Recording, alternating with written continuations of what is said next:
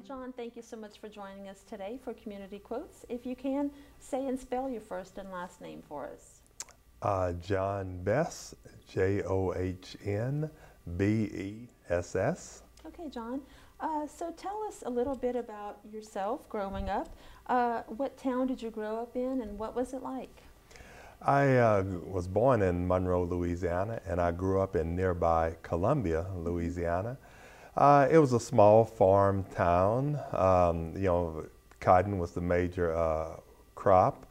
Um, a lot of fishing, a lot of hunting. Uh, neighbors knew one another. It seemed as if every other neighbor had a garden. And uh, so, you know, rustic uh, upbringing and uh, learned a lot of values, not only from myself, but from the elders in the community who at that time um, were you know, looking out for the well-being of all of the uh, youth, mm-hmm. uh, trying to impart uh, some wisdom and keep them in line. So it was, you know, I wouldn't necessarily say Norman Rockwell, but you know, some of the depictions you see in movies and documentaries of small town life that was the case in Columbia. You know, it was a tight knit uh, place. Did you have a large family? Uh, I am one of five. I'm the second oldest. Okay. Yes. All right. You have to help with chores around the house? Oh, yes. You definitely had to help with chores. Everybody had their mm-hmm. specific mm -hmm. chores to do. And, uh, you know, it was uh, expected, which is why when we uh, used to watch uh, television shows and uh, the uh, youth would complain about their chores, and sometimes, you know, they would uh, get away with it. My uh, mother would quickly uh, admonish me and my siblings that uh, it's not going to be that way around here. You know, right. we have responsibilities, and we will meet those responsibilities. Good, good. So, what type of chores did you do? And it sounds like you grew up in the country life. Uh, did you help out around, you know, with outside things? And what were some of the values that you learned from that? Well, every day after uh, coming home from school, I had to uh, pump uh, buckets of water. We didn't have indoor uh, plumbing, uh, so I had to pump buckets of water. I had to. Which I'm sure were heavy to carry. Well, yeah, for a little boy. and also bringing uh, the wood. We, uh, you know, had a uh, stove, uh, wood stove. So, you know, bringing the wood from the uh, wood pile. So, mm -hmm, yeah, those were What do you think that taught you from being a child and reflecting back? Um, because I know a lot of children now don't have those type of responsibilities. So, what did that instill in you? Well, it's interesting you should ask that because uh, I, um, I'm a school teacher by trade and I speak to my uh, students about how it was when I was growing up, when I was their age and uh, younger. What it teaches you is to uh, focus on um, hard work and to develop uh, perseverance because so many of uh, the youth today and some of the youth back then did not have chores. And we should think that they were more fortunate but in retrospect, they weren't because um, hard work, you learn at a young age that you can develop that focus, you know, that character does build character. And then when the harder things come later in life, you know that you can power through them. Mm -hmm. Yeah, from that early lesson. Yeah. Great, great advice. Uh, I know you worked uh, through the school system, uh, but looking back as a child, did you have a favorite school teacher or look up to your school teachers? Uh, yes, I had many uh, favorite uh, school teachers. Uh, starting off, uh, Miss Woods, my first grade teacher. Uh, we started first grade. when I schooled in Caldwell Parish in 1968, they did not have kindergarten. Mm -hmm. kindergarten, you know, came the following year. Uh, so uh, I started in the first grade, and uh, Miss Woods was a taskmaster, but she loved us. At that time, it was still um, segregated uh, schools. Um, the deliberate speed of uh, Brown versus the Board of Topeka, Kansas took 17 years for Caldwell Parish, uh, 1971.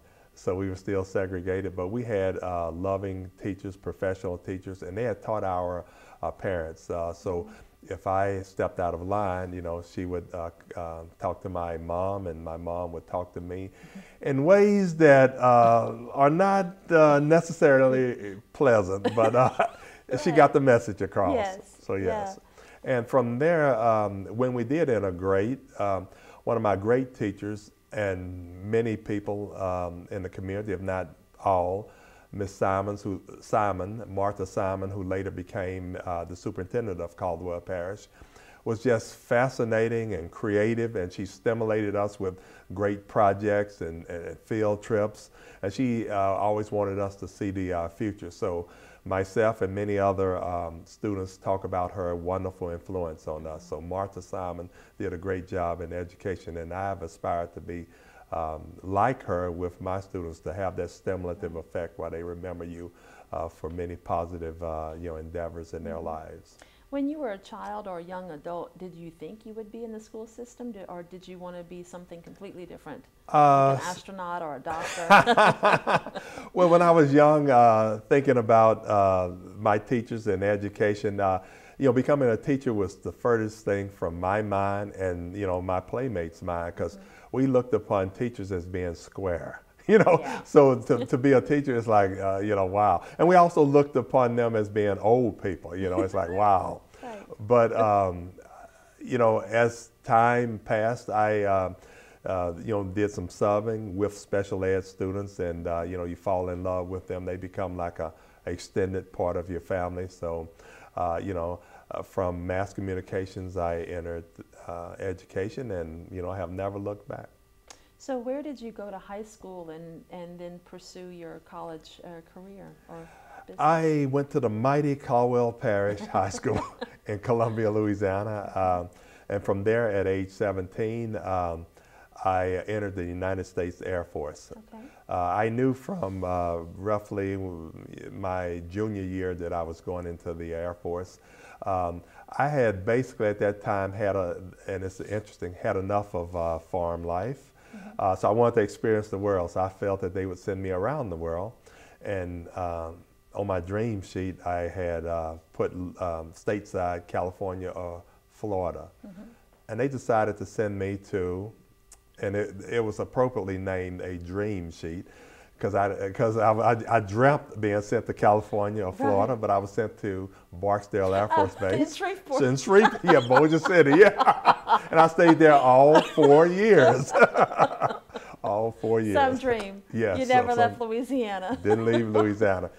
Uh, when I uh, jo- uh, departed from the Air Force and um, came uh, south to um, USL at the time, um, two years later I joined in 1986 the uh, Reserve and spent 20 years in the reserve and went all around the world, Desert Storm and, you know, uh, Saudi Arabia, Kuwait, England, Germany. So uh, I did get to travel, but it was later in the right, reserve. right.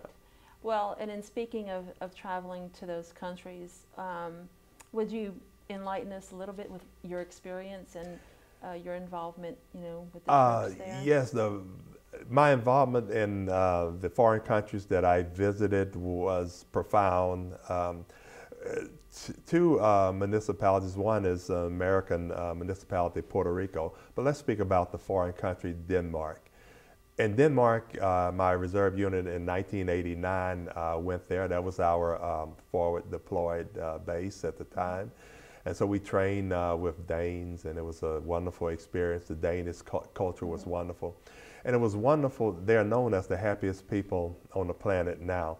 But my experience, um, I had expected to encounter um, the experience I've had, had had here in the States. And it was totally different in that they were so accommodating and helpful mm-hmm. and friendly. And for the first day and a half, you know, it was like walking around in a daze because I didn't uh, couldn't understand what it was I was feeling and the experience I was going through.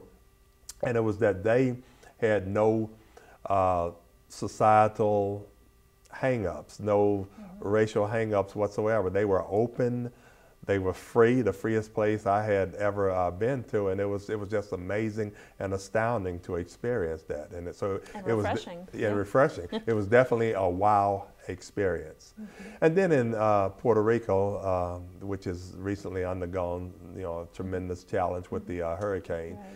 Um, it was the everybody's family mentality. Uh, friend of mine from New York, Angel. Mm-hmm. Uh, he visited his family. We were deployed in uh, Aguadilla, uh, Puerto Rico. And so he took me to their home. And since I was his friend, I was an extended member of the family immediately. Mm-hmm. And so I was treated as such. So that was amazing. I mean, I had just met these people, and you had the feeling that, okay, you're fit in, you know, just as easy as, you know, one of their other children or, or relatives. So it was, that was a wonderful experience as well. Wonderful.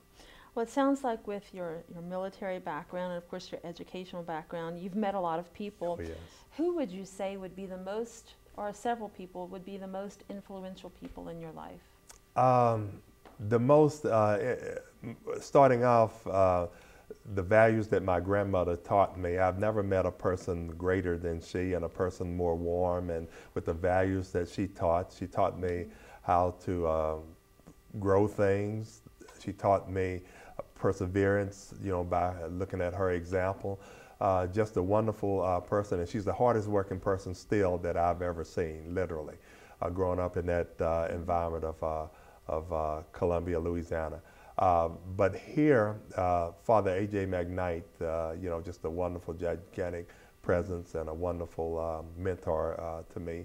So he's been the most impactful person that I've met apart from my grandmother and taught some great values. Mm-hmm. Um, looking back on, on your life to date, because I'm sure you'll have many more years yes. ahead of you, um, what achievement are you most proud of?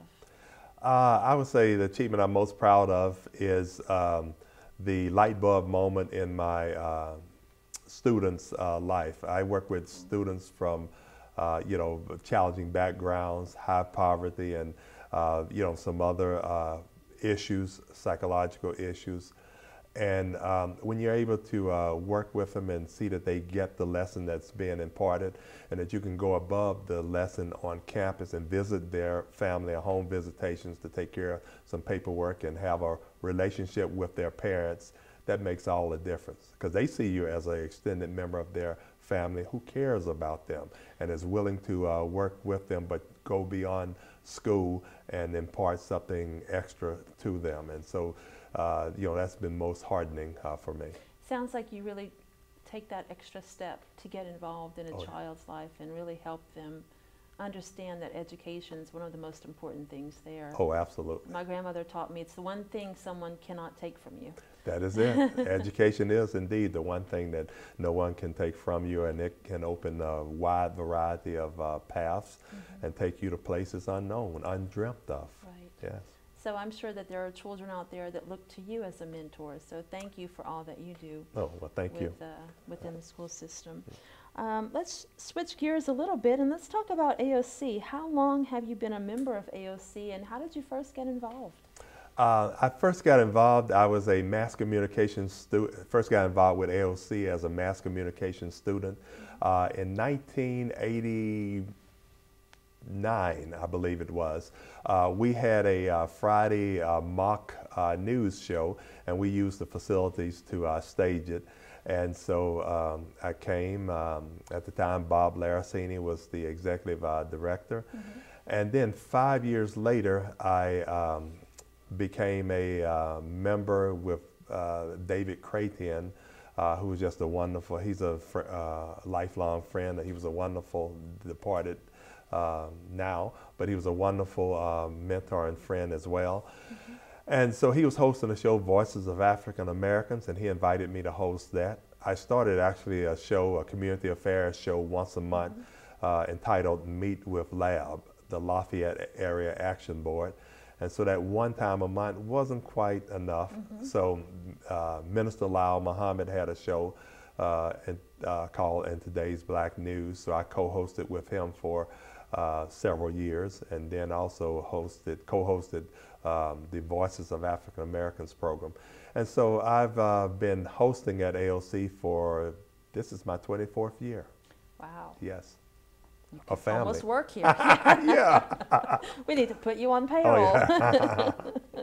what uh, do you have any future goals? Is there anything uh, with the show that you want to expand on, or anything else with AOC that you want to be involved with in the future? Yes, I would like to encourage uh, with AOC uh, more uh, participation of the um, civilian sector because still I think in many ways AOC is the best kept secret uh, in Lafayette I with would what with you. Yes, yes. with what you guys do and have uh, done. So to encourage uh, more people to get involved and produce shows, because there are a lot of hidden hidden elements of our community that we hear about, you know, from a secondary or tertiary uh, perspective that could be showcased here at AOC, and it's uh, virtually free. I mean, we're very affordable, you know. Yeah. So definitely, I try to push involvement uh, with AOC and get those uh, unknown stories uh, out there. So, Right. yeah. That, that sounds great. I, I need to add you to my marketing staff because I agree. I think we are the best kept secret in Lafayette. So more people we can get involved, the, the better to practice their freedom of speech. Um, if you could spend one day in someone else's shoes, who would it be and why? Um, I think if I had to spend one day in someone's shoes, it would be the shoes of a typical uh, female. And I say that for this reason.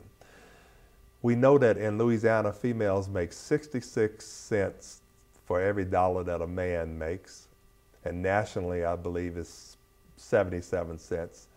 And with everything they go through and what we are hearing, you know, a lot of things have been said about that reality. But I think if men could spend one day in the shoes of women, I think we would see an almost overnight change. I would agree with that. Yes, because that. and giving birth. that and giving birth, yeah.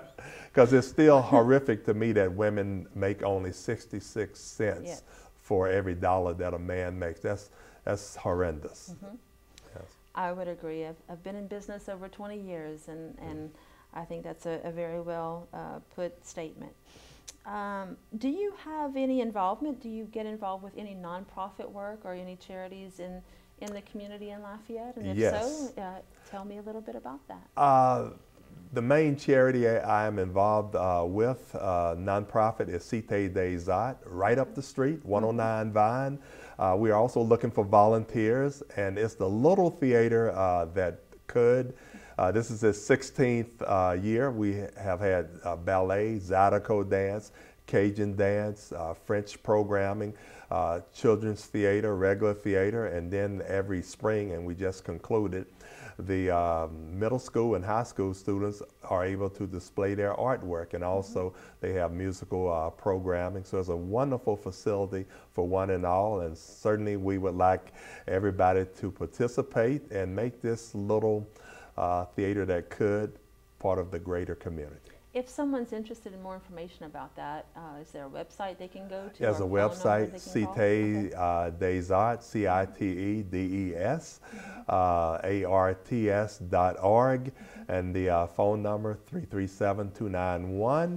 337-291-1122, 291-1122, and we have a job for you. Doesn't necessarily have to be on the stage, but if you want to be on the stage, but we have many behind the scene opportunities as well, and of course any uh, sponsor that would like to uh, support us, we would love to have you. Uh, we've done wonderful things with uh, our youth. Uh, arts, um, when you see the youth, uh, how they benefit in that light bulb moment on stage or in the theater, it's wonderful. And nothing can turn on a student like art, a young person like art. As a matter of fact, if I would have had a theater in my small community of uh, Columbia, who knows where I would be now. well, let, us talk about art because I think Lafayette does have several opportunities for art, but it's not so much in the school systems. How Yeah. do you feel about art funding within the schools and um, what's happening with that? Well, I believe it should be increased. As you know, uh, when budgets are tight, uh, the art program is one of the first to be put on the chopping block or, you know, offered up. But uh, I think we have to support art, and eventually the community will have to support uh, a tax uh, to support education. And art, again, uh, it used to be that uh, an investment uh, with art returns seven dollars for every dollar invested, and now it's many more dollars. So you really can't put a price on it, and certainly you can't put a price on the impact on the kids' uh, lives. And uh, you know, we had many people who didn't think of themselves as crea- creative. I hear it all the time. You know, I can't draw. I'm not creative. I'm not an artist. And then when we show them what they can do under the uh, appropriate tutelage, uh, they're just amazed and they, they want to display it and you know show it to every uh, staff member and you know take it home to their mom and the joy that you see emanate from them from their uh, creation because they didn't know that they could be creators. Uh, it's just astounding and wonderful to behold. Great. Well, and in speaking back to the question that I asked you a little earlier about spending a day in someone else's shoes, you mentioned about you know women and uh, spending a, a day in a typical businesswoman's world. Uh, but let's talk about school teachers um, because, as we all know, they're I think they're underpaid, and I think they would agree with me well, on that. we are. we are. Do you foresee that changing in the future, or do you think that the reward is greater for a teacher? It's not just about pay; it's making a, a, a change in someone's life. Yeah, it's not just about uh, pay, which is why so many teachers have, uh, you know, stayed with the uh, profession. They uh, really want to grow mm-hmm. and impart knowledge, wisdom to our uh, youth of the day. But um, speaking of that, uh, on NPR, I recently heard a, um, a sad commentary. The teacher of the year for the state of Oklahoma, and Oklahoma has one of the, I mean, they pay their teachers lower than their, their, their, their payment scale is lower than Louisiana, uh, way lower than Louisiana, uh, amazingly. Uh, and this individual had to take up a second uh, job uh, in order to support his family. And he was thinking of leaving the profession, and he's the Oklahoma Teacher of the Year for uh, 2017 having to think about leaving the profession. So we have to pay our teachers more, and certainly our excellent uh, teachers. So um, getting back to the uh, tax, it's not about the money, but teachers, like anyone else, have to live a, uh, make a decent living, to live a decent uh, life and do what they do best, which is educate uh, your children. So again, um, getting back to the uh, tax, I don't like paying taxes. Uh, unfortunately, uh, we have to, uh, you know, think about doing that to improve education. As Huey Long used to, or Russell Long, Huey's son used to say, tax you, tax me, tax the man behind the tree. Yeah. But, um, you know, we have to uh, be supportive of that which will increase education and which will harbor better for the uh, future. So look at our outcomes now, project for the future, and it will take resources. So I well, think sure. uh, more. And, education is yeah. a wonderful investment. Yes, exactly. The best investment. The, the, more educated that your uh, population is, the less crime there is, less poverty. Absolutely. It, it has a cyclical effect Absolutely. on the entire community. So 100% agree with you on that. Now here's a fun question. If you could have dinner with, say, four or five different people, living or deceased, famous or not, okay. uh, who would they be and why? Okay. Uh, first, um, my Savior, uh, Jesus Christ, uh, because He is my Savior and the tremendous wisdom that He can and uh, would impart and does impart every day. Uh, secondly, I didn't get to know her as well as I wanted to. My grandmother, she's deceased, so I would like to uh, get some more wisdom uh, uh, from her. And again, uh, best person that I ever knew. Um, I've always been fascinated with Dr. Martin Luther King and what he went through. So I would like to, because some of his themes are predominating today. we're talking about a fair wage. Bernie Sanders is pushing that and other politicians. Martin Luther King was pushing that in the uh, 60s, as well as uh, you know many other progressive uh, issues.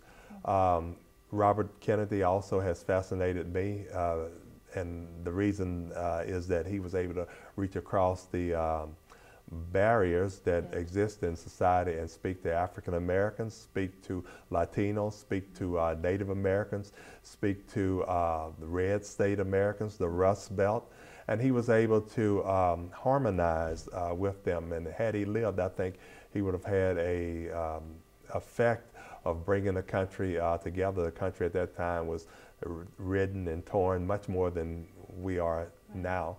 Uh, so I would have uh, liked to have seen him uh, become president, and I would would have loved to have uh, dinner with him. And then the last person um, would be a man who, um, Cesar uh, Chavez, in reading his story, fighting for the migrant uh, workers, um, his fortitude, you know, his fortitude. Uh, I would like to talk to him about his struggles and uh, where he, you know, um, would see an improvement because in many cases, what he was fighting for, uh, individuals are still fighting for as it relates to uh, migrant uh, workers and those rights that, uh, you know, he was able to make an inroads. So um, his courage, uh, you know, really hardens me. So, yeah. Well, John, last question. Um, this has been a, a wonderful interview, and uh, thank you again for being here today. But uh, in reaching all of the people that you've been in touch with your whole life, what legacy do you want to leave behind? How do you want people to remember you by?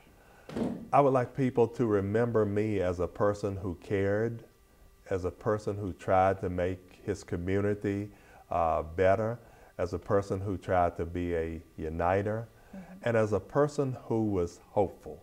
And if I can be remembered uh, by those uh, standards, I think I've lived a good life. I would agree. Thank you, John. Thank you. That concludes our interview. Thank you.